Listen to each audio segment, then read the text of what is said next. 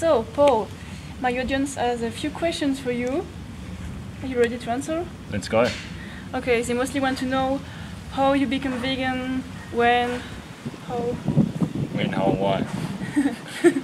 okay, so I went vegan back in uh, 2011. It was March of 2011. A mate of mine forced me to watch Earthlings. He forced me, tied me down to the couch and said, you better watch this or I'm going to kill you. No, I'm just joking. He said, yeah, watch Earthlings. And then I watched it and I was, I was just shocked to see how animals are treated. And that's enough, um, that's enough reason to go vegan alone. But I was actually vegetarian for two weeks after that. And then, yeah, I just decided I'm a hypocrite. I might as well just go all the way.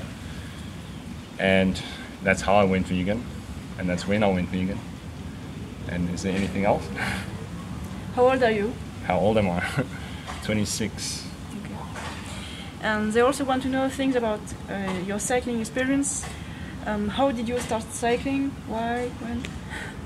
Well, interestingly enough, it's the same mate that uh, helped me to go vegan by showing me Earth or letting me know about Earthlings. He actually got me into the cycling. He was doing triathlon at the time, and then he's like, uh, "Yeah, come cycle with me." And then, then I got hooked. I got hooked on the cycling. It was good. Cycling is addictive, I think. Yeah, for sure. Is there anything I missed in that question about the cycling? I think so. Is that it? Mm. Yeah. So, from, from a friend who gave you the virus of cycling. Yeah, he gave me the virus. I got infected. Okay. Okay, they also want to know so badly how we met. How did we meet? Well, we met um, through an act of suffering. it wasn't. It wasn't the most pleasurable experience for her, but I was having fun because I was enjoying seeing her suffering, getting dropped on the wheel all the time. okay, let me explain. Um, Paul was pacing me in June when I was trying to do um, time trial, and it worked. Even though your power meter died. Yeah, it, part- it died just as I finished pacing her, which No. was convenient. No more battery. yeah. Um, and they want to know also how we managed it to with a long distance because we had long distance for three months, Yeah, we were just chatting to each other on Messenger pretty much every day. Mm. chatting a lot. Yeah, but I, I would let her chase. She would do all the chasing, and, and that, would, keep things Yeah. healthy. You know, if a, if a guy does the chasing, you, he's, he's going to chase her right out of his life. And also, what helps is that we have a lot of common interests, yeah, same passions, Passions. sure. Your values have to be aligned, and it really helps to make it work. definitely. And right now we are in South Africa, and then we'll go to Chiang Mai. We don't know when, and we'll see. Let's enjoy the present moment. And Focus on the now. yeah. Power of now. Okay, let's go back to the interview because it's your interview. Um, they want to know how long you have been living in South Africa, if you're from this place, and where you are from. Yes, I've been living in South Africa all my life. I was born in Pretoria, and yeah, I still am in Pretoria. We've moved a couple of times.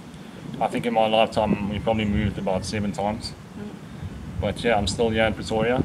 It's not a bad place. The only the bad thing, the only bad thing about it, I can say, is the is the traffic, mm. as you can attest as well. Yeah, it's a bit dangerous some days, but it's warm here. It's cool. Yeah, it's got many pros, many pros. But yeah, Chiang Mai is the place to be. Right It's gonna be my new home. Chiang Mai is home. I feel the same. And right now we are in your parents' house. Yeah. Um, okay. Um, some guy said, um, "What do you think about uh, photo safaris? Photo safaris. Is it ethical? I think it's a question. Oh, is it ethical? You mean like taking photos of Wild animals? of wild animals? Mm. I think it's ethical. yeah, me too. If they're not, yeah, if they're not like kept in a very small enclosure, then I think it's ethical. Mm. As long as you're not harming them or, or yeah. The other day, yeah. we have seen zebras, but ha- they have a lot of space and it's Yeah, they look they look happy to me. So Yeah, I, I, I, I think that's ethical because you're protecting them from from from predators, the real predators, humans. Yeah, poachers. Yeah. Okay, next question. Um, it's about southern hemisphere. Does the vortex in the sink turn in a different Direction. direction? I haven't paid attention to that, so I can't I can't comment on that one. Me neither. Sorry. don't give. Don't care. okay. About your diet now. What is your diet? Is it raw till 4, starch, raw vegan, or something else? Well, most of the time it's the tasty shit diet, so I just eat whatever looks tasty to me, as long as it's vegan. And but most of the time it's high carb for sure. The average calories throughout the year in terms of a macronutrient ratio is under 10% of fat, so you could say it's a high carb, low fat vegan diet. Yeah. Tasty, tasty shit. Oreos, fries, so there's like pies, sausages, mm. schnitzels, all these vegan goodies, vegan cheese, vegan pizza. You enjoyed that vegan pizza? Yeah. Vegetable chop suey, all that good stuff. Um, does your vegan diet help for your cycling performance? The one thing that it's really helped with, and I'll be honest, is the endurance. My endurance has become a lot better since carbing up because you just get the cleanest fuel in that you can. In terms of like max power, it hasn't changed. It's been the same. And recovery.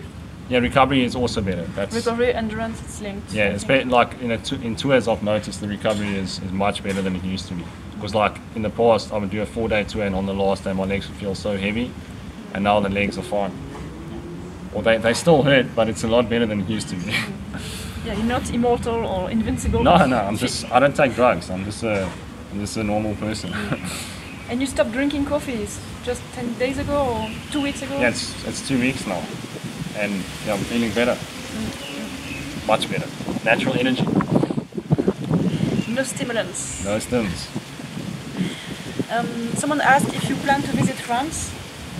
No, I don't really want to go to France. It's too expensive, Yeah. right? Even if I had the money, I probably wouldn't. We have some great mountains, mountains to Yeah, climb. that's that's probably the only reason why I would go, and for you, of course. Um, last question. Someone asked if uh, you satisfy me in bed.